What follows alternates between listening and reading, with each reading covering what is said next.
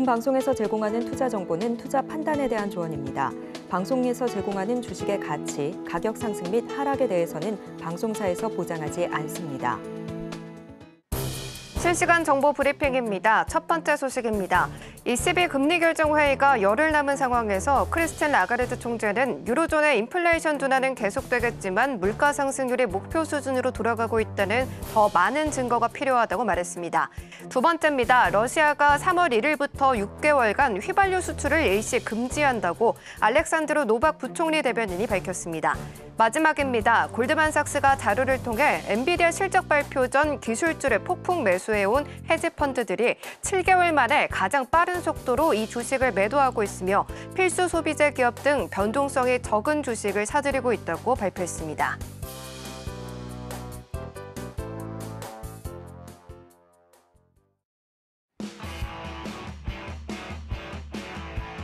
지금은 해전시대 안녕하세요. 해외 선물 상황을 가장 빠르게 알아보는 시간 해전시대 박수연입니다. 1월 FMC 의사록 또 엔비디아 실적 발표 등 굵직한 이벤트들을 지나면서 지난 이거래일 동안 미국 증시는 쉬어가는 흐름을 보여줬는데요. 하지만 여전히 위험 선호 심리가 우위에 있다 보니 비트코인은 26개월 만에 5만 4천 달러를 돌파하는 등 주가 약세폭은 좀 제한적인 모습입니다. 셧다운 우려도 드리운 가운데 오늘은 어떤 흐름 흐름을 이어가게 될지 저희와 끝까지 함께 하시면서 전략들 챙겨보시길 바랍니다. 그러면 본격적인 시작에 앞서서 오늘의 주요 경제표들 화면으로 만나보고 오겠습니다. 미국 1월 신규 주택 판매는 66만 천 채로 전월 대비 1.5% 증가했지만 예상보다는 낮게 나왔습니다. 미국 내구재 수준은 마이너스 6.1%로 예측치와 이전치를 크게 하회했고 근원 내구재 수주 역시 마이너스 0.3%로 큰 폭의 감소세를 보였습니다. 잠시 후 자정에는 컨퍼런스 보드가 집계한 2월 소비자 신뢰지수가 마지막으로 내일 오전 6시 30분에는 미국 석유협회가 집계한 주간 원유 재고가 발표됩니다.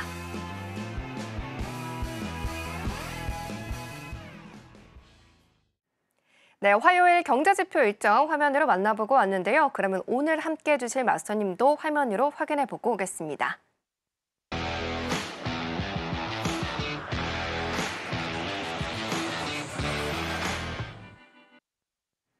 네, 화요일엔 남한산성 마스터님과 함께합니다. 마스터님 어서 오십시오. 네, 안녕하십니까? 네, 시청자분들께도 인사 부탁드립니다. 네, 어, 이젠 제가 일주일에 원래 두 번씩 출연을 하다가 이제 매주 화요일 날 여러분들을 뵙게 됐습니다.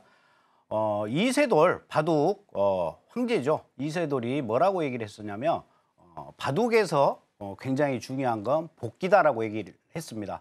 여러분들 해외 선물하면서 정말 복귀가 굉장히 중요하다. 다시금 제가 말씀을 드리고 싶은데요. 바둑에서 한 번 두고 난 바둑을 어, 다시 어, 처음에 두었던 대로 한 수 한 수 첫 수부터 다시 어, 바둑을 두는 걸 복귀라고 하죠.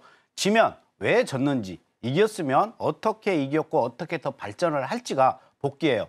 해외 선물도 마찬가지입니다. 여러분들 실질적으로 거래를 하고 난 다음에 하루에 보통 평균 세 번에서 네 번 정도 거래를 하실 거예요. 거래를 하고 나서 만약에 어, 수익이 났다 그러면 왜 수익이 났는지 좀 더 내가 수익을 더 가져가면 어떤 부분이 좀 미흡했는지 만약에 손실이 났다면 왜 내가 여기에서 뭘 놓쳐서 손실을 했었는지 이걸 그때 당시에 차트를 다시 놓고 그러니까 캔들을 앞에 걸 보지 마시고 그때 상황에서 캔들을 놓고 여러분들이 다시 한번 복귀를 하면 그게 정말 어, 여러분들한테 공부 정말 100가지 하시는 것보다 더 효과적이다 이렇게 말씀을 드릴 수가 있습니다.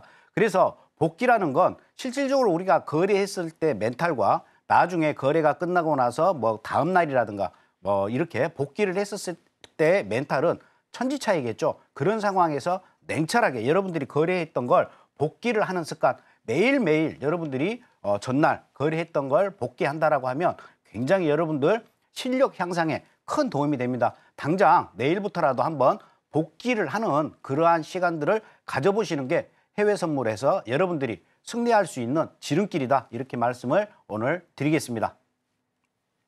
네, 마사님 인사를 너무나도 꽉 차게 또 준비를 해 주셨던 것 같은데요. 이렇게 마스터님께서 말씀을 해 주신 것처럼 내가 오늘도 수익을 냈다라고 하더라도 우연으로 이렇게 닫고 문을 닫는 것보다는 내가 어떻게 해서 수익을 냈는지 그리고 실패했다면 어떤 부분이 좀 부족했는지 이런 부분들을 꼭 복귀를 하셔야 될 것 같은데 혼자서 하기에는 이런 복귀 자체가 좀 쉽지 않습니다. 하지만 마스터님과 함께 하신다면 그런 방법들까지 그리고 수익을 어떻게 연결시킬 수 있는지 그런 부분들도 함께 배워보실 수 있으시니까요.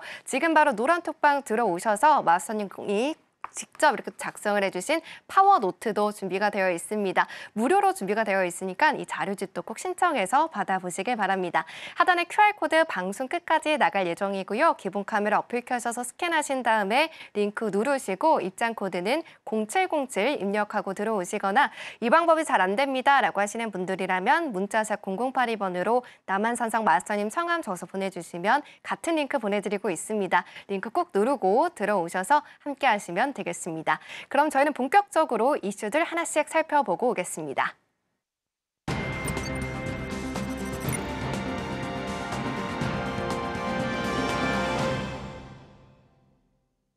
네, 현재 프리장에서 나스닥 같은 경우는 0.29% 올라가면서 빨간불 켜고 있고요. 지금 18,027포인트 선 지나가고 있습니다. 9시 32분경에 18,040포인트를 좀 기록해 준 바도 있긴 하지만 이내 좀 미끄러지는 모습을 보여주면서 18,000포인트를 깨기도 했는데요. 다시금 V자 반등 보여주면서 올라와 주고 있는 상황입니다. 그러면 어떤 흐름을 좀 보여줄 수 있는 그런 이슈들이 있는지 화면 통해서 만나보도록 하겠습니다. 네, 첫 번째 뉴스 살펴보도록 하겠습니다. 제이미 다이먼 JP모건 CEO가 지금 헤드라인 보시면 Cautious about soft landing for economy라고 되어 있습니다. soft landing에 대해서 조금은 조심스럽다라는 헤드라인인데요. 다이먼 CEO는 CNBC와의 인터뷰에서 예상보다 금리가 더 높을 가능성을 제기하면서 양적 긴축, QT와 재정 적자, 그리고 지정학적 리스크 등 다양한 요인을 고려해야 한다라고 강조했습니다.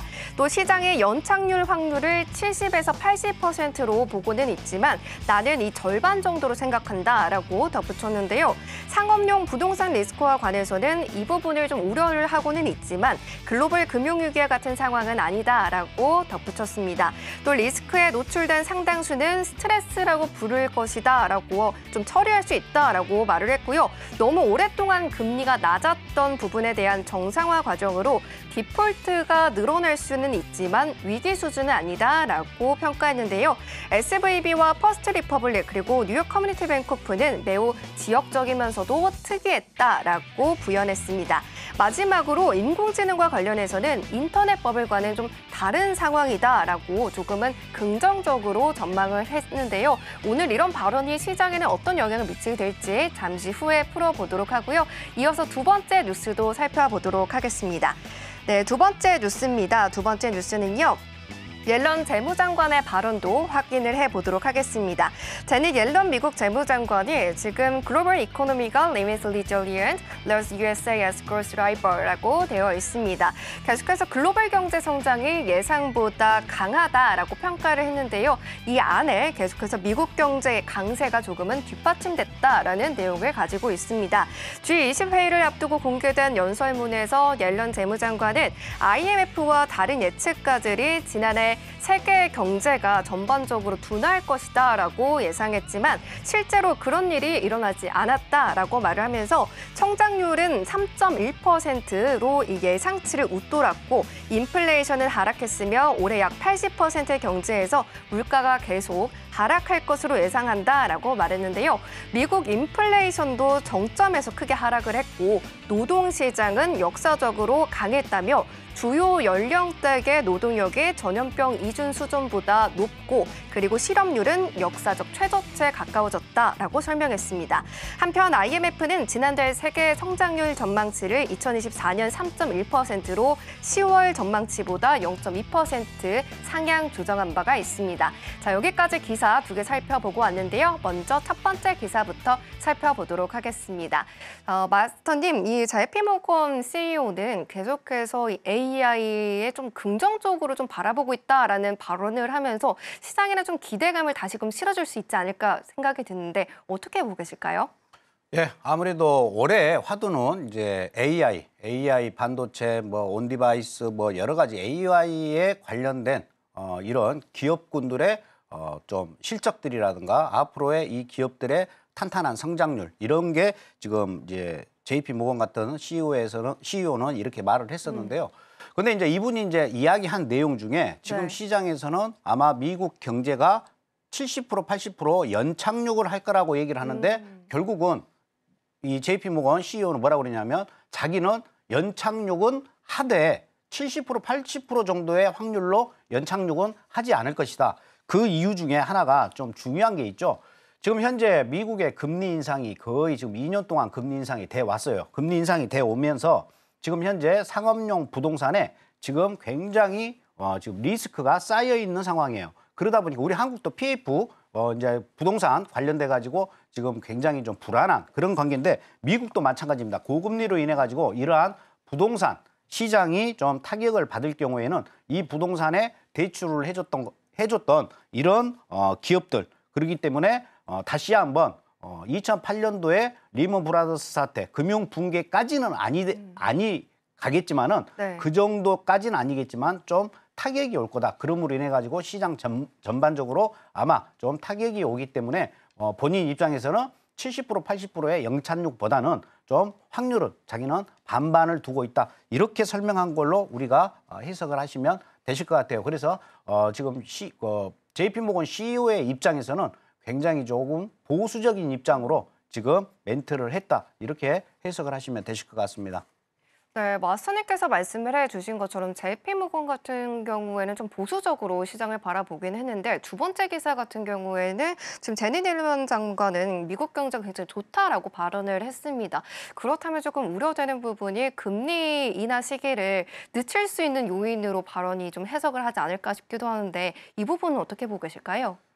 올해 미국에 대선이 있어요. 그다음에 JP 모건의 아까 CEO는 그냥 사기업이죠. 민간이죠. 근데 앨런 의장은 재무 어 장관이지 않습니까? 네. 그러면 국가 입장에서 아 미국 경제 안 좋습니다. 그러면 미국 대선에 도움이 될 것이 하나도 없죠. 네. 그러니까 국민 어뭐 들한테 보내는 메시지 입장에서 정부를 대표하기 때문에 앨런 어, 재무장관 입장에서는 그렇게밖에 멘트를 할 수가 없겠죠. 현재 노동시장이 탄탄하다. 그리고 미국 경제가 탄탄하다. 이렇게밖에 말을 할 수가 없는데 제 개인적인 생각으로는 이건 그냥 아, 립서비스에 불과하다. 앞으로 대선이 있기 때문에 그러는데 올해 저, 적어도 3분기 어, 하반 하반기, 3분기에 뭐 하반기라고 보면은 뭐 거의 뭐 8, 9월 달 이 정도 되면 아무래도 금리 인하가 어, 한 차례 정도 어, 시작이 된다. 선제적으로 미국의 어떠한 연착륙을 끌어 어, 오기 위해서라도 어, 금리 인하는 시행이 될 것이다. 근데 섣부르게 금리 인하를 할 수가 없죠. 물론 어, 소비자 물가지수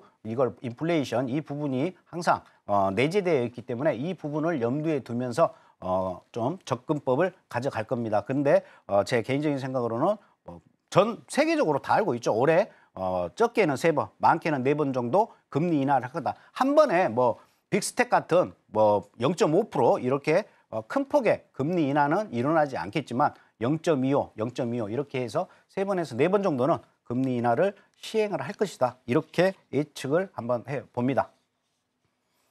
네, 마스터님과 함께 두 가지 이슈 좀 자세하게 풀어봤습니다. 이렇게 마스터님과 함께 하신다면요. 매일매일 이슈 풀이뿐만 아니라 어떤 내용을 좀 담고 있는지 그리고 어떻게 해석해야 되는지 하나부터 열까지 다 알려드리고 계시니까요. 이런 부분들이 궁금하다라고 하시는 분들이라면 지금 바로 노란톡방 들어와 주시면 되겠습니다. 해외 선물뿐만 아니라 국내 시장을 공부함에 있어서도 계속해서 유익한 정보를 나눠드리고 계시니까요. 지금 바로 하단에 나가고 있는 QR코드를 기본 카메라 어플 켜셔서 스캔하신 다음에 링크 누르시고 입장 코드 0707 입력하고 들어오시거나 문자샵 0082번으로 마스터님 성함 적어서 보내주시면 같은 링크 보내드리고 있습니다. 링크 꾹 누르고 들어오시면 되겠습니다.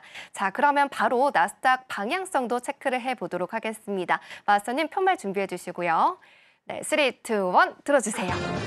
네, 오늘 매수 시그널 들어주셨습니다. 살짝 삐그덕 하신 것 같은데 오늘 매수 시그널 약간 고민하신 거예요? 고민한 게 아니고 오늘 소비자 네. 신뢰지수 발표가 있지 않습니까? 자정에.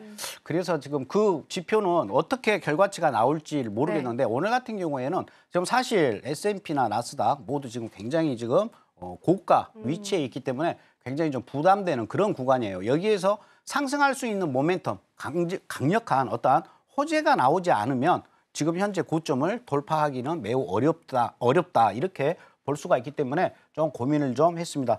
먼저 차트를 보고 설명을 좀 드리도록 하겠습니다. 뭐 이럴 때는 네. 기술적 분석으로 접근하는 게 가장 또 좋은 현명한 방법이다 이렇게 생각이 들고요. 먼저 나스닥 일봉 차트를 보도록 하겠습니다. 일봉 차트 보시게 되면 어, 현재 18,000 18,144.75 고점을 찍었죠. 이때 고점을 찍고 조금 후퇴하는 그러한 모습이었어요. 근데 어, 엔비디아 어, 실적 발표가 나면서 깜짝 실적 발표였죠.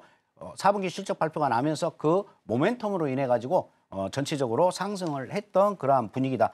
현재 보시게 되면 17,700선이 이제 앞으로의 큰 어, 중요한 지지선 역할을 할 가능성이 큽니다. 그래서 17,700은 지지선 역할을 할 것이고요. 이 안에서의 어떠한 박스권의 흐름을 계속해서 일단 보일 거다. 그러다가 마- 제 이제 개인적인 생각인데 17,700이 만약에 무너진다. 그러면 이때부터는 조금 더 어, 파동이 하방으로 내려갈 확률이 높아요. 그래서 떨어지게 된다. 그러면 공교롭게도 전자에 한번 지지를 받았던 자리죠. 17,200선까지는 다시 한번 후퇴를 할 가능성이 매우 높아 보여. 현재 지금 보조 지표 스토캐스틱을 보시게 되면 현재 골드 크로스가 나서 우상향을 하고 있는 그러한 모습이에요. 하지만 어, 이 상단 18,144, 그 다음에 하단 17,700 이 사이에서의 박스권의 흐름을 보일 가능성이 있다. 그, 하지만 상승에는 아까 조금 전에 제가 말씀드렸다시피 상승 모멘텀이 현재로서는 좀 약하다.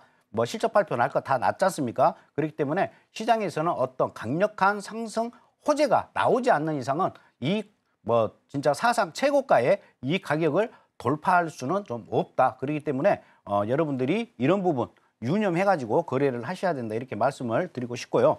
나스닥 60분 차트 오늘 이제 우리가 거래를 해야 되는데 한번 보도록 하겠습니다. 현재 구간은 지금 어, 오늘의 시가이죠. 시가이면서 지금 요단강 보시게 되면 요단강 상단에 지금 현재 위치해 있어요. 어제 찍었던 고점이 어, 18,060자리인데 오늘 같은 경우에 좀 더 상승을 한다 하더라도 1809 이 라인까지만 여러분들이 보셔야 돼요. 1809 이 자리는 또 어, 단기 매도로 여러분들이 대응을 해서 18033까지 볼 수 있는 그러한 자리다.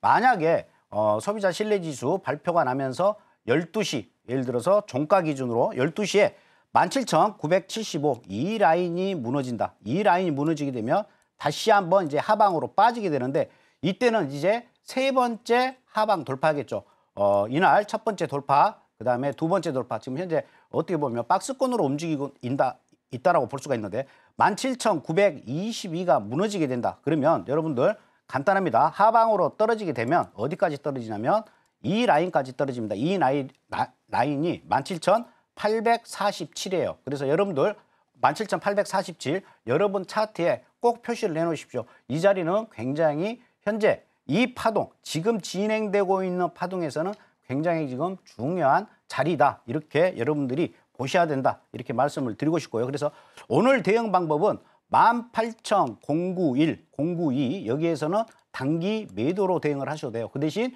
현재 추세는 지금 어찌 됐든 간에 우상향으로 올라가고 있기 때문에 이런 데에서 매도를 들어갈 때는 여러분들이 짧게 대응을 하셔야 돼요. 그래서 18033까지만 본다. 그리고 만약에 17974가 하방으로 깨진다. 그러면 조정 시 매도가 되는 거고요. 뭐 1차적으로는 어, 전자의 저점 17922인데 17846까지 떨어질 수가 있다. 그러면 17846은 이제 반대로 단기 매수로 여러분들이 대응을 할 수가 있다. 그래서 결론적으로는 오늘 나스닥 같은 경우는 상단 18091 하단 17846 이 안의 range에서 움직일 가능성이 커요. 이 바깥으로 나가는 것은 이제 뭐 옆집 개나 줘라 이런 식으로 여러분들이 인지를 하시고 이 위로 상단으로 고점이 뚫리고 한다 추격 매수 굉장히 위험하죠. 그렇다고 해서 막 올라가고 있는데 아 이거 많이 올라왔으니까 매도 한번 잡아볼까 이것도 굉장히 위험한 발상이에요. 그렇기 때문에 우리 오늘 같은 경우에는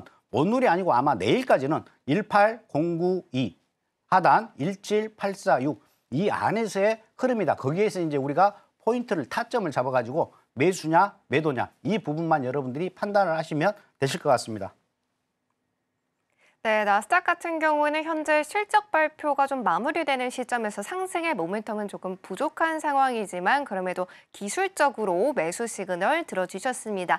이 점 방향성 꼭 체크를 해 보시고요. 그리고 매도 같은 경우에도 예시로 또 설명을 해 주셨으니까 매일매일 이런 자세한 자리값 받아보고 싶다라고 하시는 분들이라면 노란 톡방 들어오셔서 매일 좀 챙겨가 보시면 좋겠습니다. 하단에 QR코드 나가고 있고요. 기본 카메라 어플 켜셔서 스캔하시면 링크가 뜹니다. 링크 꼭 누르신 다음에 입장 코드는 0707 입력하고 들어오시면 되겠습니다. 들어오시게 된다면 마스터님께서 작성해 주신 파워노트도 준비가 되어 있습니다. 무료로 다 전달드리고 있으니까요. 이 파워노트 안에서 차트가 어떻게 좀 형성이 되는지 기본적으로 차트 매매 분석을 할 수 있는 방법에 대해서 자세하게 설명이 되어 있으니까요. 꼭 무료로 신청해서 받아보시길 바랍니다. 자, 그럼 나스닥은 여기까지 정리해 보도록 하고요. 이어서 오일도 살펴보고 오겠습니다. 네, 다음으로는 crude oil입니다. 오일은 지금 0.61% 올라가면서 빨간불 켜고 있고요. 78.04달러 선 지나가고 있습니다. 10시 40분 전까지는 조금은 지지부진한 흐름을 좀 보여줬지만 이 이후로 좀 급등세 나와주면서 78달러 선까지 올라와 주고 있는 상황입니다. 오늘 계속해서 좀 상승 흐름 이어갈 수 있을지 잠시 후에 방향성 체크해 보도록 하고요. 이어서 오일과 관련한 이슈도 해석해 보도록 하겠습니다. 네, 오일 이슈입니다. 오일 이슈는요, 국제 신용평가사인 피치가 Let's say, let's say Tom Oil has said shipping costs surge 150% and 그리고 which will push inflation higher라고 되어 있습니다. 지금 홍해 혼란으로 인해서 운송 비용의 150% 급증해서 인플레이션을 높일 것이다라고 말했는데요. 이 부분에 대해서 조금 자세히 살펴보자면 홍해 해운 항로의 장애로 운송 비용이 급증했으며 이는 핵심 인플레이션을 0.5%포인트 추가 상승시킬 수 있고 미국의 수입 물가가 2024년 말까지 3.5% arttı. 포인트 상승할 것이다 라고 전망을 했는데요. 보도에 따르면 이러한 효과는 수입 가격에는 2개월 이내에 반영될 수 있고 소비자 물가 지수에는 8개월에서 10개월이 걸릴 수 있다라고 말했습니다. 하지만 상품 소비가 완만하게 증가하고 있으면서 광범위한 공급망은 거의 제약받지 않고 있다라고 말을 했는데요. 팬데믹으로 공급망 혼란이 발생했던 2021년과 같은 상황이 반복되지는 않을 것이다라고 덧붙이기도 했습니다. 자 여기까지 오일과 관련해서 이슈 살펴보고 왔습니다. 마스터님 지금 운임 상승으로 이 기사는 어, 코로나 시기처럼 이, 어, 급등하는 그런 상황을 예상하지는 않아도 된다라고 말을 하긴 했는데 인플레이션의 좀 가격이 좀 반영이 되기까지는 8개월에서 10개월이 걸린다고 말을 했잖아요. 이 정도면은 어, 미국의 그 연준의 금리 결정에 좀 영향을 미칠 수 있는 시기라고 보고 계실까요? 이 부분은 이제 우리가 두 가지를 생각을 하셔야 되는데요. 일단 어, CPI가 근원 CPI가 있고 그냥 CPI가 있지 않습니까? 근데 근원 CPI에는 어, 시, 실질적으로 식료품과 에너지가 포함이 되지 아- 않아요. 그렇기 네. 때문에 연준에서는 지금 이 부분의 CPI에 어떠한 금리 인하 요소에 에너지 가격이 얼만큼 어, 효, 어, 영향을 줬느냐는 사실상 그 부분을 빼고 생각할 여지가 굉장히 크다 이렇게 볼- 볼 수가 있고 방금 말씀하신 것처럼 이 홍해로 인해 가지고 이게 인플레이션 CPI에 영향을 직접적으로 끼치려고 그러면 적어도 이제 8개월 뭐 거의 연, 연말 돼서나 이게 어, 되기 때문에 실질적인 금리 인하하고는 지금 이 뉴스하고 연관을 지었었을 때 크게 어, 영향력은 없다. 물론 이제 수입 물가, 수입하는 입장에서의 어떤 운송료 이런 부분에 있어 가지고 어, 아마 어, 굉장히 좀 어, 타격을 좀 받을 어, 가능성은 매우 높습니다. 하지만 어, 그렇게 우리가 금리 인하와 연결을 해서 이 홍해 사태를 생각을 할 필요는 아직까지는 없다. 이렇게 어, 말씀을 좀 드리겠습니다. 네, 그렇다면 말씀해 주신 것처럼 수입 가격에는 2개월 이내에 좀 반영이 될 수 있다라고 봤는데 이 부분은 그럼 저희가 좀 우려하지 않아도 될까요? 네, 이건 뭐 크게 우려할 부분은 아니다. 뭐 이렇게 보시면 되실 것 같습니다. 네, 알겠습니다. 일단 오일과 관련해서 이슈 먼저 풀어봤는데요. 이렇게 조금은 어떻게 좀 해석해야 될지 모르는 이슈들이 나왔을 때만큼은 우리 남한산성 마우사님의 견해를 꼭 한번 들어보시길 바라겠습니다. 하단에 QR코드 나가고 있고요. 기본 카메라 어플 켜셔서 스캔하시면 링크가 뜹니다. 링크 꼭 누르시고 0707 입력하고 들어오시거나 이 방법이 잘 안 됩니다 라고 하시는 분들이라면 문자샵 0082번으로 남한산성 마스터님 성함 적어서 보내주시면 저희가 같은 링크 보내드리고 있으니까요. 링크 꼭 누르고 들어오시면 되겠습니다. 그러면 일단 crude oil과 관련해서 방향성도 체크를 해봐야 되겠죠. 마스터님 팻말 준비해 주시고요. 네, 3, 2, 1 들어주세요. 오늘 매수 시그널 들어주셨습니다. 매수 시그널 들어주신 이유 한번 들어볼까요? 네, 어, 오일 같은 경우에도 기술적 분석으로 제가 설명을 좀 드리도록 하겠습니다. 오늘 사실 지금 오일이 굉장히 좀, 어, 좀 뭐랄까요? 좀 굉장히 박스권으로 오늘 좀 특별하게 좀 박스권으로 많이 지금 치고받고 하고 있는 그러한 모습이에요. 이제 이런 경우에는 지금 한쪽 방향으로 쏠리게 되면 강하게 튀어가는 그러한 영향력이 영향이 있습니다. 이런 부분들은 여러분들은 좀 감안을 해서 보셔야 될 것 같아요. 현재 오일 같은 경우에 지금 dead cross가 난 상태였습니다. 그래서 저는 어제 같은 경우에는 오일이 좀 빠질 걸로 예상을 했었는데 어, 오일이 뭐 빠지지 않고 76.62 이 자리를 지켜내는 그러한 모습이었어요. 물론 이유가 다 있었던 어, 어제 하루였었는데 이 음봉이 굉장히 중요하죠. 어, 보시게 되면 어, 윗꼬리 아랫꼬리 달린 이 캔들 이후에 음봉이 나오면서 어, 확연하게 76.62 아래로는 떨어지진 않았지만 다시 어제 76.62를 회복하는 그러한 모습이었어요. 그래서 지금 오일 같은 경우에는 또 아까 나스닥처럼 이 상단에서의 박스권으로 지금 움직이고 있는 그러한 모습이다. 그러면 오늘 같은 경우에 적어도 박스권 상단까지는 상승할 수가 있다. 그리고 제가 계속해서 말씀을 드렸지만 이번 이 파동은 오일 같은 경우에 82달러까지는 일단 상승할 수 있는 여지가 충분히 현재는 어, 잔존에 있다 이렇게 말씀을 드렸어요. 그러면 60분짜리 보시게 되면 좀 이해가 더 가실 겁니다. 60분짜리 보시게 되면 오늘 계속해서 제가 좀 어, 말씀을 아까 드렸던 게 이 캔들에서 지금 요단강 위이지만 시가 아래로 떨어지면서 오늘 일봉이 잠깐 음봉으로 바뀌었어요. 그러다가 다시 양봉으로 바뀌었고요. 다시 또 일봉이 음봉으로 또 바뀌었어요. 그래서 이때 다시 한번 이제 하방으로 떨어지게 되면 좀 크게 떨어질 가능성이 매우 높았어요. 76.40까지 하방은 열려 있는 그러한 상태였습니다. 근데 직전 캔들이 다시 시가 위로 회복을 하면서 두 개의 지금 장대 양봉을 만들고 있는 그러한 모습이에요.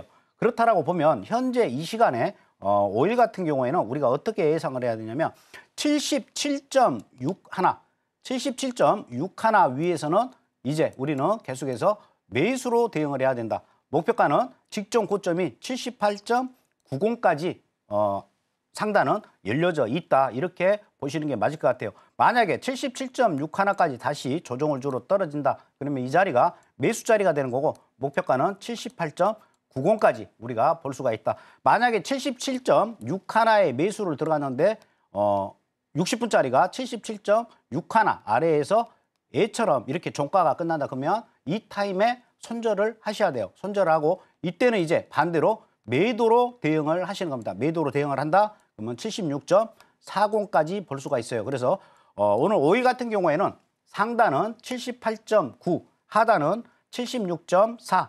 여기에서 피봇 자리는 76.6 하나, 76.6 하나 위에서는 여러분들 매수로 대응을 하시는 거고요. 77.6 하나 아래에서는 매도로 대응을 하셔야 돼요. 그러니까 매수, 매도 다 가능한 자리인데 현재 오일이 위치해 있는 자리가 78.17이죠. 현재로서는 77.6 하나 위에 있기 때문에 여러분들이 지금 현 상황에서 오일은 매수로 대응을 하셔야 된다. 그래서 좀 조정을 줄 때 매수로 대응하는 전략으로 여러분들이 어, 진행을 하시면 되실 것 같습니다. 네, crude oil은 조정 줄 때 매수하는 전략 챙겨보도록 하겠습니다. 조금 더 자세한 자리값이 궁금하다라고 하시는 분들이라면 노란 톡방 들어오셔서 매일매일 이러한 전략들 챙겨가시면 되겠습니다. 하단에 QR코드 나가고 있고요. 이 QR코드를 기본 카메라 어플 켜셔서 스캔하시고 링크 누르시고 입장 코드 0707 입력하고 들어오시면 되겠습니다. 그럼 오일 여기서 마무리해 보도록 하고요. 이어서 골드도 살펴보고 오겠습니다. 네, 이어서 골드입니다. 현재 골드는 0.3% 올라가고 있는 상황입니다. 2045달러 선 지나가고 있는데요. 오늘 같은 경우 2048달러를 9시경에 기록을 해주기는 했지만 이 부분보다는 살짝 내려와 있는 상황입니다. 하지만 다시 11시 14분경부터 계속 올라가 주고 있는데요. 오늘 골드는 어떤 흐름 보여줄지 잠시 후에 체크해 보도록 하고요. 이슈부터 살펴보도록 하겠습니다. 네, 오늘 골드와 관련된 이슈는 달러와 엔화 관련 기사 가지고 왔습니다. 엔화 매도세가 3개월 만에 최고치로 미국과 일본의 금리 차는 확대가 계속되고 있다라는 기사인데요. 미국 상품 선물 거래 위원회 데이터에 따르면 20일 기준 비상업 부문의 달러 대비 엔화 순매도 포지션은 12만 778계약을 기록하면서 3개월 만에 최고 수준을 기록했다라고 말했습니다. 미국과 일본의 금리차 확대가 지속된다는 인식에 엔화 매도 그리고 달러 매수세가 유입됐는데요. 지난주에 엔화 순 매도폭은 2017년 11월 이후에 6년 3개월 만에 최고 수준이다라고 합니다. 이렇게 되다 보니까 미주은행은 엔화 매도세는 당분간 계속될 것이다라고 내다봤는데요. 마스터님께서는 어떻게 좀 보고 계실지 이 부분과 함께 달러 그리고 골드까지 엮어서 살펴보도록 하겠습니다. 마스터님 지금 이 달러 인덱스를 보면서 엔화를 좀 빼먹을 수 없다라고 말씀을 해주셨는데 엔화가 계속 이렇게 약세를 보이게 된다면 달러가 강세를 보이게 되고 골드는 다시금 하방 압력으로 작용할 가능성이 있을까요? 예, 뭐 그렇게 볼 수도 있겠죠. 근데 어, 방금 어, 말씀하신 것처럼 헤지 펀드에서 엔화를 계속해서 매도를 한다. 근데 달러 엔은 현재 1달러가 지금 현재 150엔 정도 하거든요. 그러니까 그만큼 어, 달러가 강세고 엔화가 약세란 말이죠. 그러면 달러가 강세고 엔화가 약세인데 사실상 엔화도 어떻게 보면 어, 안전자산에 속하고 달러도 안전자산에 속하고 골드도 안전자산에 속합니다. 그러면 이 세 개를 비교를 했었을 때 지금 가장 강한 게 달러가 되는 거고 그 다음이 골드가 되는 거고 엔화가 지금 가장 약해요. 근데 엔화 같은 경우에는 저는 뭐 예전에 어, FX 포른 익스체인지를 올해 또 제가 거래를 했었는데 어, BOJ 그러니까 일본 중앙은행 같은 경우에는 굉장히 시장 개입을 자주 해요. 그래서 환율 어, 해서 조작국 우리나라도 계속해서 환율 조작국에 많이 포함이 됐었어요. 우리 한국은행도 예를 들어서 우리나라 원화가 좀 어, 방어를 해야겠다 그러면 엄청나게 한국은행에서 푸시를 해가지고 이게 중앙은행이 개입을 해가지고 어, 예를 들어서 달러를 산다거나 왕창 산다거나 달러를 판다거나 뭐 이런 식으로 엔화를 산다거나 엔화를 판다거나 뭐 이런 경우가 비일비재해요. 근데 어, 일본 어, BOJ 어, 이 중앙은행 일본 중앙은행 같은 경우는 굉장히 이게 또 심합니다. 그런 나라 중에 하나예요. 그러니까 이, 이 부분은 여러분들이 그냥 뭐 상식적으로 알아두시면 되실 것 같고요. 근데 지금 엔화 같은 경우에는 헤지 펀드가 어떻게 하든 간에 엔화가 그래도 어, 어느 정도 방어할 수 있는 충분한 능력을 가지고 있다. 이렇게 여러분들이 보시면 되겠고 지금 달러 강세가 워낙 강하기 때문에 반대급부적으로 지금 골드가 좀 힘을 못 쓰고 있는 거예요. 그래서 골드가 본격적으로 상승을 할, 한다. 이렇게 본다라는 그 시점은 금리 인하가 이제 거의 도래했다. 이러한 어, 어떠한 뉴스가 나온다거나 이러한 호재가 나왔다고 하, 나왔다라고 하- 했을 경우에 골드가 그때부터는 본격적인 상승을 한다. 이렇게 여러분들이 이해를 하시면 되실 것 같습니다. 네, 골드 이슈 풀어봤고요. 계속해서 방향성도 바로 체크해 보도록 하겠습니다. 자, 마스터님 팻말 준비해 주시고요. 네, 3, 2, 1 들어주세요. 오늘 매수 시그널 들어주셨습니다. 어떤 부분에서 매수 시그널 들어주셨을까요? 예, 현재 골드 같은 경우에 조금 상단에서 지금 조정을 받고 있는 모습인데 한번 차트를 보고 설명을 좀 드리도록 하겠습니다. 네. 골드 일단 보시게 되면 골드 일봉상 차트입니다. 일봉상 보시게 되면 이때부터 지금 현재 어, 골드 크로스가 났죠. 골드 크로스가 나서 우상향이 됐고 2025.5 어, 이게 굉장히 중요한 자리라고 말씀을 드렸었는데 이때 2025.5 위로 안착한 이후에 2025.5 아래로 어, 하향 이탈하지 않고 계속해서 지지받는 모습이에요. 그렇다고 해서 상단 같은 경우에 2049를 또 돌파하지 못하고 있어요. 그래서 오늘 같은 경우 아까 제가 오일도 설명을 드렸고 나스닥도 설명을 드렸는데 지금 며칠째 계속해서 큰 박스의 흐름을 모든 상품들이 지금 어, 가고 있다 이렇게 어, 보고 보시면 되실 것 같은데 이러한 박스가 한쪽이 무너졌을 때는 강하게 어떠한 추세가 형성이 된다. 이렇게 여러분들이 이해를 하시면 되실 것 같아요. 그래서 일단은 2049 여기가 아마 오늘 내일 사이에 한 번 정도 골드가 돌파하지 않겠느냐. 저는 이렇게 보고요. 돌파하게 된다 그러면 2068 이 라인까지는 한 번 정도 상승할 수 있는 충분한 어, 지금 어, 모멘텀을 축적하고 있다. 이렇게 보여집니다. 그러면 60분짜리 한번 보도록 하겠습니다.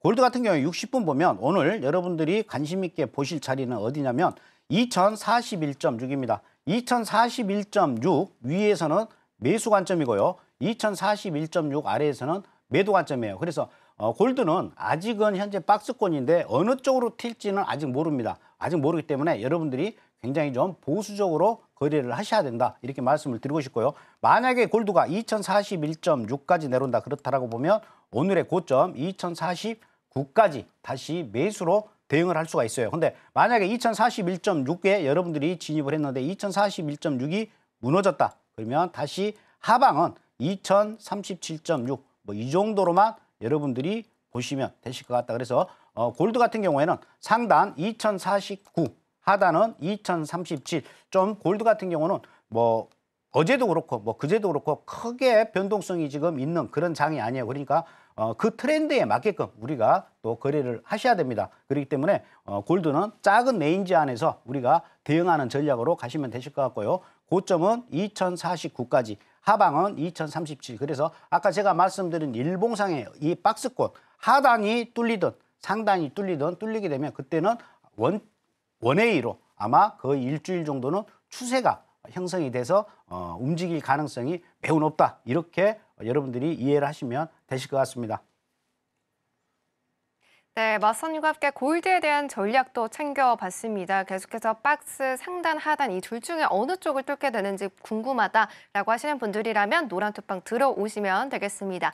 무엇보다 노란투방 들어오시게 된다면 무료 온라인 공개방송 링크도 받아보실 수가 있습니다. 지금 맞선님께서 매일매일 또 이렇게 진행을 해주고 계시는데요. 오전과 오후 이 두 번에 걸쳐서 공부를 하고 싶으신 분들은요. 지금 바로 노란톡방 들어와 주시면 되겠습니다. 하단에 QR코드 나가고 있고요. 카메라 어플 켜셔서 스캔하시고 링크 누르고 입장 코드 입력하고 들어오시면 되겠습니다.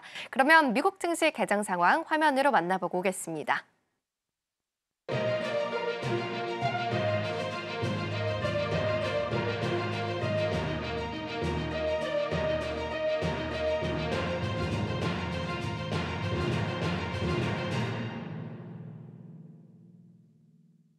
네, 미국 증시의 3대 지수 한국 시각으로 11시 30분 혼조로 출발하고 있습니다. 그리고 지금 상품 같은 경우에는 파운드와 유로 FX는 파란불 켜고 있고요. 나머지 상품 같은 경우에는 빨간불 켜주고 있는 상황입니다. 그러면 나스닥부터 살펴보도록 하겠습니다. 네, 나스닥은 현재 0.19% 올라가고 있습니다. 18,000포인트를 좀 지켜주고 있는 상황인데요. 개장 직후에 바로 18,000포인트까지 급하게 내려가기도 했지만 이내 다시 올라와 주면서 18,020포인트를 지켜주고 있습니다. 하지만 지금은 분봉상으로 지금 파란불을 띄우고 있는데요. 어떻게 좀 흘러가게 될지 잠시 후에 체크를 해보도록 하고요. 자정에는 컨퍼런스 보드가 집계한 2월의 소비자 신뢰지수가 발표가 됩니다. 이어서 crude oil도 살펴보도록 하겠습니다. 네, 현재 오일은 0.53% 올라가고 있습니다. 77.97달러 선 지나가고 있고요. 78.17달러 선까지 23시 07분경에 기록을 했습니다. 하지만 이 고점보다는 살짝 내려와 있는 상황이고요. 개장 이후에 특별한 뭐 큰 장대 양봉이나 음봉은 체크가 되고 있지 않은 상황입니다. 다음으로 골드도 살펴보도록 하겠습니다. 네, 현재 골드는 0.32% 올라가면서 강보합권에서 움직임 보여주고 있습니다. 2045달러 선 지나가고 있는 상황이고요. 오늘 10년물 국채금리와 달러 인덱스 같은 경우에는 개장 이후에도 큰 움직임 없이 보합권에서의 움직임 보여주고 있는 상황입니다. 마지막으로 유로 FX도 살펴보도록 하겠습니다. 네, 유로 FX 같은 경우는 약법권에서 움직임 보여주고 있습니다. 0.03% 밀리면서 파란불 켜고 있고요. 1.085250 달러 선 지나가고 있는 상황입니다. 오늘 유로 FX 같은 경우에는 조금은 출렁거림이 나왔기 때문에 조심해서 함께 매매해 보시길 바라겠습니다.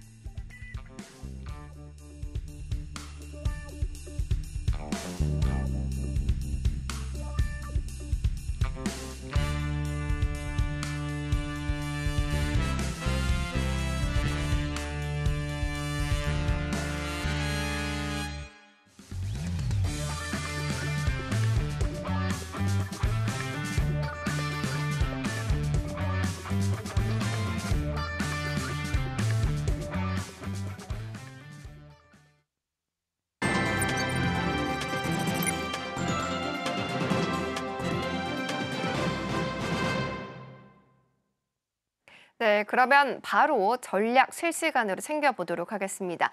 마사님 먼저 나스닥부터 살펴볼까요? 네. 어, 차트 한번 보면서 설명을 좀 드리도록 하겠습니다.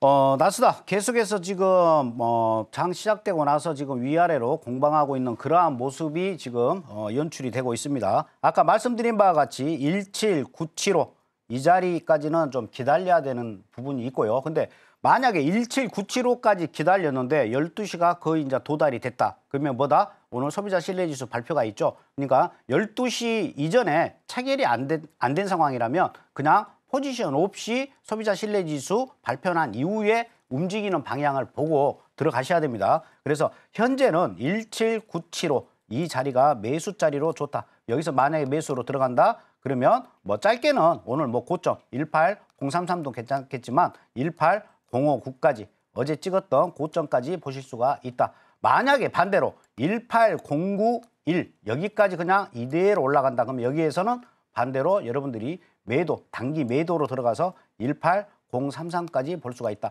만약에 18091에 뭐 매도를 들어갔는데 양봉으로 이 위로 올라오는 모습이 나왔다 그러면 바로 그냥 이 자리에서 손절 다시 아래로 내려오는 모습이 보인다 그러면 조정 줄 때 다시 매도로 대응을 하시면 충분히 오늘 같은 날은 어, 수익 내기가 굉장히 또 쉬운 날이에요. 이렇게 어, 뭐랄까요 답안지가 나와 있는 이러한 어, 모습이다 이렇게 여러분들이 이해를 하시면 됩니다. 만약에 소비자 신뢰 지수가 발표가 난 이후에 17951 17951 하방으로 깨질 수도 있겠죠. 뭐 소비자 신뢰 지수 어, 발표치가 예상치 하고 굉장히 상이하게 나온다. 그러면 깨질 수가 있습니다. 이때는 17951 아래에서는 매도로 여러분들이 대응을 하시는 거고 목표가는 17847까지 볼 수가 있습니다. 그래서 하단 17847 아까 제가 말씀드렸다시피 상단은 18091 이 range 안에서 흐름으로 여러분들이 대응을 하시면 오늘 뭐 쉽게 오늘 나스닥 같은 경우는 수익이 어, 나실 수가 있다 이렇게 말씀을 드리겠습니다. 네, 나스닥 전략 챙겨보고 왔습니다. 하단에 나가고 있는 QR코드를 이 기본 카메라 어플 켜서 스캔하시고 들어오시게 된다면요. 이런 방향성 그리고 자리값 매일매일 받아보실 수가 있으시니까요. 나스닥과 관련해서 궁금한 게 더 많다라고 한다면 지금 바로 하단에 QR코드를 기본 카메라 어플켜서 스캔하시고 링크 누르고 0707 입력하고 들어오시면 되겠습니다. 그럼 저희는 바로 이어서 S&P 500도 살펴보도록 하겠습니다. 마사님 S&P 500은 어떻게 보고 계실까요? 어, S&P 500은 사실상 지금 굉장히 혼조세로 움직이고 있다. 여러분들이 이렇게 보시면 되실 것 같습니다. 어, 나스닥은 지금 현재 매수세가 좀 확연한데 지금 S&P 500 같은 경우는 굉장히 혼조세로 움직이고 있다. 이렇게 이해를 하시면 되실 것 같고요. 어, 현재 지금 5080 현재 정확하게 우리가 S&P를 본다라고 하면 매도보다는 현재는 매수 쪽에 가깝습니다. 그런데 어, 나스닥은 여러분들이 매수로 바로 들어가셔도 되는데 S&P는 조금 관망을 하셨다가 차라리 소비자 신뢰지수 발표난 이후에 대응을 하는 그런 전략으로 가져가시는 게 좋을 것 같아요. 그래서 지금 현재 S&P 같은 경우에는 5077.5 오늘의 시가죠. 5077.5 아래에서 종가가 끝나는 음봉이 나왔다. 그러면 조정 시 매도가 되는 거예요. 매도가 되는 거고요. 목표가는 5061까지 여러분들이 대응을 하실 수가 있습니다. 이 시간 이후에 다시 5084 이 위로 회복이 된다. 그러면 조정 시 매수가 되는 거고요. 상단은 5098까지 볼 수가 있어요. 그래서 S&P 같은 경우에는 상단 5098 그리고 하단은 5060 이 range 안에서 오늘 S&P는 움직이는데 5084 위에서는 매수 관점으로 여러분들이 어, 적극 매수로 대응을 하시면 되고요. 5077 아래로 깨졌다. 그러면 5077 아래에서는 매도로 대응을 하셔가지고 5061 여기까지 목표가를 두고 여러분들이 매도로 어, S&P는 대응을 하시면 어, S&P도 오늘 그렇게 어, 어려운 어, 그러한 장은 아니다. 하지만 S&P 같은 경우는 차라리 소비자 신뢰지수 발표가 난 이후에 여러분들이 대응을 하시는 게 조금 리스크 측면에서 좀 안전하게 거래를 하실 수 있겠다. 이렇게 보여집니다. 네, S&P와 관련해서는 12시에 소비자 신뢰지수 발표 이후에 조금 더 더 정확한 방향성 잡아보자라고 해 주셨으니까요. 지금 바로 노란 톡방 들어오셔서 방송 이후에도 전략들 챙겨가 보시길 바랍니다. 하단에 QR코드 나가고 있고요. 방송 끝나기 전까지 빠르게 스캔하시고 링크 누르고 들어오시면 되겠습니다. 자, 그러면 이제 골드도 빠르게 살펴보도록 하겠습니다. 마선님, 골드는 오늘 매수, 매도 어느 쪽으로 보고 계실까요? 어, 현재는 매수로 보고 있습니다. 어, 매수로 보고 있는데 여러분들이 아셔야 될 게 어, 사실상 소비자 신뢰 지수가 그렇게 큰 임팩트 있는 지표는 아니에요. 어떤 추세를 그냥 확 바꿔버릴 수 있는 그러한 지표는 아닌데 골드 같은 경우에는 12시에 소비자 신뢰 지수 발표가 되면 위아래로 굉장히 많이 흔들어요. 이 부분은 제가 전에 한번 공개 방송 때 자세하게 설명을 좀 드린 적이 있어요. 그때 또 수익도 우리가 냈던 그런 어, 과거가 있는데 어, 여러분들 골드 같은 경우에 차트를 보시면 아까 제가 말씀을 드렸습니다. 2041.6 이 자리가 오늘의 피벗 자리입니다. 그래서 2041.6 위에서는 매수 관점이고 2041.6 아래에서는 매도 관점입니다. 상단은 2049까지만 보자. 하단은 2037.6까지만 보자. 이 안에서의 어, 흐름으로 골드는 여러분들이 거래를 하셔야 되는데 만약에 지금 소비자 신뢰지수 발표 나오기 전에 2041.6까지 내려온다 그러면 여기에서 매수를 취하셔도 돼요. 여기에서 매수 취해서 다시 직전 고점 뭐 20, 2048까지 보시면 될 것 같은데 만약에 그 전에 2041.6을 터치를 안 했다. 소비자 신뢰지수 발표 나기 전까지 터치를 안 했다고 하면 그냥 기다리셨다가 소비자 신뢰지수 발표가 날 때 그때 여러분들이 어, 방향성을 보고 대응을 하시는 게 좋아요. 방향성을 본다는 것은 딱 정해졌죠. 2041.6 아래에서 자꾸 어, 움직인다. 그러면 매도로 여러분들이 보시면 되는 거고요. 2041.6 위에서 계속해서 움직이는 모습이 보였다. 소비자 신뢰지수 발표 난 이후에 그러면 매수로 보고 여러분들이 대응을 하시면 된다. 이렇게 보고 어, 오늘 골드도 대응을 하시면 될 것 같아요. 지금 계속해서 움직이고 있는데 현재 지금 11시 40분인데 앞으로 소비자 신뢰지수 20분 정도 남았어요. 20분 전에 2041.6 여기에 터치한다 그러면 매수예요. 그리고 만약에 이제 진입이 된 상태다. 진입이 된 상태인데 내가 아직 빠져나오지 못했는데 소비자 신뢰지수 발표가 12시에 대기 중에 있다. 이때는 꼭 스탑을 걸고 여러분들이 대응을 하시는 게 리스크 차원에서 좋다. 이렇게 말씀을 좀 어, 드리도록 하겠습니다. 네, 이렇게 골드까지 개장 이후의 흐름도 체크를 해봤습니다. 마선님께서 말씀을 해주신 것처럼 12시 이후의 자리값이 더욱더 중요하다라고 해주셨으니까요. 이후의 방향성 그리고 자리값이 받아보고 싶다라고 하시는 분들이라면 지금 바로 방송 끝나기 전까지 노란 톡방 들어오시면 되겠습니다. 하단에 QR코드 나가고 있고요. 이 QR코드를 기본 카메라 어플 켜셔서 스캔하신 다음에 링크 누르고 0707 입력하고 들어오시거나 이 방법이 잘 안 됩니다 라고 하시는 분들이라면 문자샵 0082번으로 마스터님 성함 적어서 보내주시면 되겠습니다. 마스터님 성함 적어서 보내주시면 저희가 같은 링크 보내드리고 있고요. 링크 누르고 노란 톡방 들어오시게 된다면 마스터님께서 직접 작성해 주신 30페이지가 넘는 파워노트도 무료로 받아보실 수가 있습니다. 인터넷 어디에서도 또 찾아보실 수가 없으시니까요. 빠르게 들어오셔서 다운받고 싶습니다 라고 꼭 말씀해 주시길 바랍니다. 그리고 노란 톡방 들어오시게 된다면 무료 온라인 공개 방송 링크도 받으실 수가 있습니다. 지금 마수님께서 매일매일 또 진행을 해주고 계시는데요. 지금 당장 내일부터 또 목요일까지 또 듣고 싶다라고 하시는 분들이라면 무료 온라인 공개 방송 통해서 궁금한 점들 꼭 여쭤봐 주시고요. 방송보다 더 가깝게 이야기 나눠보시길 바라겠습니다. 자, 이렇게 전략들 챙겨봤는데요. 아쉽지만 그럼 여기서 마스터님과 인사 나눠보도록 하겠습니다. 마스터님 오늘도 좋은 강의 감사합니다. 네, 감사합니다. 네, 그러면 오늘의 핵심 화면으로 만나보고 오겠습니다. 해선시대 오늘의 핵심입니다. 먼저 나스닥입니다. 자정의 소비자 신뢰지수가 낮게 나오고 자정 종가 기준 17,975포인트 이탈 시 매도하는 전략 세워봤고요. 다음으로 crude oil 같은 경우에는 82달러까지 추가 상승이 가능하고 오늘은 변곡점 77.61달러에서 양방향 매매 전략 챙기자라고 담아봤습니다. 마지막으로는 골드입니다. 골드는 2025.5달러 안착 후 지지받는 중이기 때문에 상 상승 추세라고 체크해봤고요. 2,049달러 돌파 가능성이 높고 이 자리 돌파 시엔 2,068달러 도달이 가능하다라고 챙겨봤습니다. 오늘은 저점 2,037달러 그리고 고점은 2,049달러를 잡고 변곡점 2,041.6달러에서 양방향 거래로 담아봤습니다. 네, 본 방송에서 제공해드린 정보는 투자 판단에 대한 조언일 뿐 해당 상품의 가치와 수익률을 보장하지는 않습니다. 끝으로 서울경제TV와 해선시대는 자본시장 통합법을 준수합니다. 일대일 투자 상담, 유사 수신행위, 무인과 영업행위 등 모든 불법 사항을 엄중히 금지하고 있습니다. 오늘 저희가 준비한 소식은 여기까지입니다. 시청해주신 여러분 고맙습니다.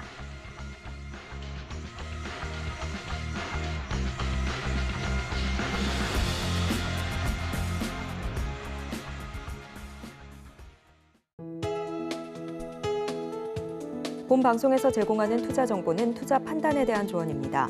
방송에서 제공하는 주식의 가치, 가격 상승 및 하락에 대해서는 방송사에서 보장하지 않습니다.